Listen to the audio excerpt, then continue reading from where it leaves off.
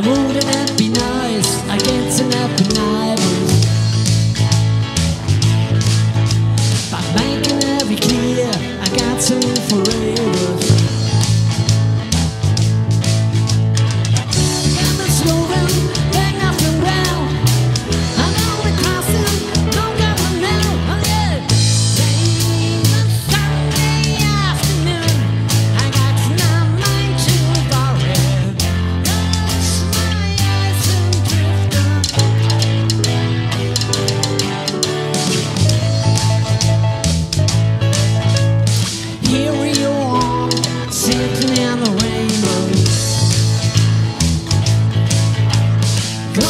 zum Sohn, heute mehr zum Mägen.